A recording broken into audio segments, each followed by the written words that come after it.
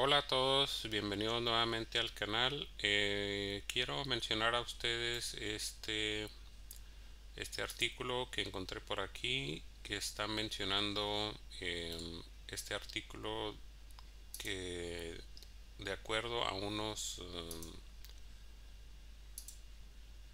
a un oficial del, del gobierno ucraniano ellos dicen que Hungría quiere parte de su territorio. Esto viene de parte de un alto funcionario del gobierno ucraniano. Es esta persona que sale aquí en, esta fotografía. Su nombre es Alexei Dailov. Es el secretario del Consejo de Defensa y Seguridad Nacional de Ucrania y lo que él está declarando es que Hungría fue informada del ataque ruso con anticipación y esperaba tomar, vamos a decir, ventaja de la situación y quedarse con parte del territorio de Ucrania. El primer ministro húngaro, Víctor Orbán, eh, lo agregaron a una base de datos que, que enumera los enemigos del Estado ucraniano es esta que aparece por aquí em, una vamos a decir una parte de la página de internet donde se ve el nombre de este señor Víctor Orban en la página esta de internet.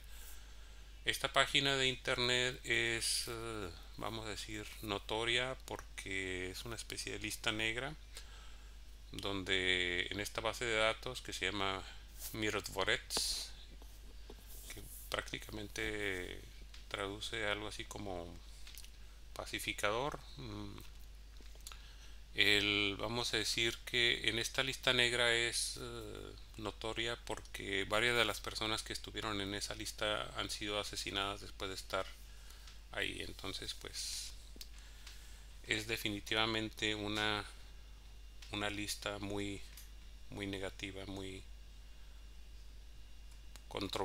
controversial, podríamos decir, ¿no? Y lo que vamos a ver lo, que está diciendo este señor Alexei Danilov es dice que él piensa que Hungría eh, querría tomar parte del territorio. Él dice que esto nunca va a pasar. La victoria definitivamente será nuestra y sobre Hungría que se comportó de esta manera veremos cuáles serán las consecuencias para este país y bueno el área a la que ellos podrían estar interesados es el, área que se le conoce como la Transcarpatia ahorita lo mencionamos ahí. Y bueno ahí en esta página de internet que ya mencionamos antes el sitio de web le pone una etiqueta al señor Orban como cómplice de los criminales de guerra rusos y un propagandista anti-ucraniano Ucrania, eh, perdón, Hungría es miembro de la Unión Europea y de la OTAN y se ha negado a enviar armas a Ucrania o permitir el tránsito de esos envíos por el territorio de su país. También se ha opuesto al embargo de petróleo y gas y bueno, aquí se dice que la postura de Hungría sobre las acciones por petróleo y gas se mantiene sin cambios. No los apoyan y bueno, esta parte es un poco interesante. Eh, esto viene nuevamente de parte de este señor Danilov. Dice que mm, Ucrania no tiene la intención de firmar ningún tratado de paz con Moscú y que ellos simplemente van a aceptar la rendición de Rusia. No creo que eso vaya a pasar nunca, pero bueno, eso nos da una idea de qué es lo que piensa el gobierno ucraniano, ¿no? Entonces vamos a ver esta, que es la sección que se le llama ahí la Transcarpatia. Este es, vamos a decir, una, un área que hace una frontera con la región del Lvov y de Ivano-Frankivsk en Ucrania. Y esta zona está aquí, aquí está el Lvov, aquí está Ivano-Frankivsk, aquí en esta zona de acá está Colomea, fue bastante notoria durante la Segunda Guerra Mundial por los movimientos nazis. Toda esta área es la que el área que se le llama Galicia. Y bueno, esta el área de los Transcarpatia, es, hace frontera con Eslovaquia, con Hungría, con Romania, Moldova, no queda ahí, acá está Ucrania, acá de este lado está Polonia, en el norte, entonces ahí hace esa frontera con toda esa, todos esos países. Entonces esta parte eh, tiene una minoría significativa de personas que hablan el idioma húngaro. Por eso es importante para Hungría o podría ser importante para Hungría.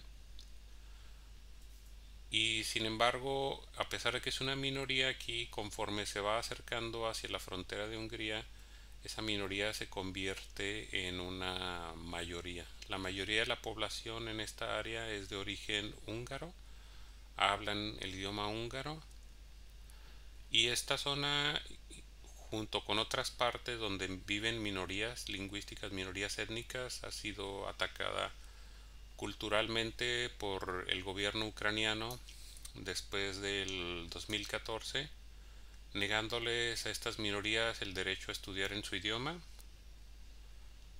Por ahí hubo hasta un documental sobre esto donde los estudiantes que tienen que presentar un examen eh, tienen que hacerlo en el idioma ucraniano, no se les permite hacer el, el, examen en su idioma nativo y pues esto obviamente ocasiona que tengan malas calificaciones en ese examen, no, a veces no pueden pasar el examen, entonces no tienen acceso a educación superior. Y bueno pues es que la verdad es que las personas de esta región no utilizan el idioma ucraniano para nada, hablan húngaro en su casa, no necesitan el idioma ucraniano porque toda la gente en esa área habla el idioma húngaro, entonces ¿para qué necesitan ese idioma, no? Pero es una imposición absurda que seguramente viola los derechos humanos de las personas que viven en esta área, no se respeta su, su derecho a una elección de, de idioma, no se da opciones, entonces pues eso fue criticado ampliamente en su momento, pero igualmente el gobierno de Ucrania persistió en ese tipo de acciones. Así que pues esta es la situación actual.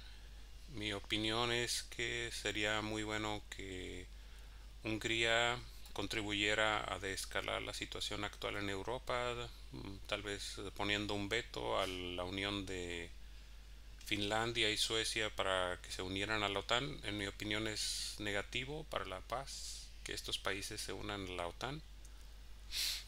Sería muy bueno que Hungría impusiera su veto y impidiera que estos países formen parte de la OTAN. No sé si eso vaya a ocurrir, es solo estoy, vamos a decir, hablando sobre mi opinión, sobre mis deseos. Me gustaría que ya en el pasado el gobierno de Hungría siempre ha sido muy muy sensato, me parece, su líder ha sido un hombre muy sensato, el señor Víctor Orban. Eh, Así que esperemos que nuevamente tome una, decisión apropiada y contribuya a descalar la situación en, Europa. Vamos a ver qué sucede en los eh, meses que faltan, en los días que faltan hasta que esto se dé a conocer, la decisión de si entran estos países a la OTAN o no. Díganme qué piensan, cuál es su opinión, si tienen algún comentario, alguna pregunta y bueno, como siempre les pido que le den me gusta a este video, lo compartan en los medios sociales, se suscriban al canal y esperamos verlos por aquí muy pronto nuevamente. Y gracias por ver este video.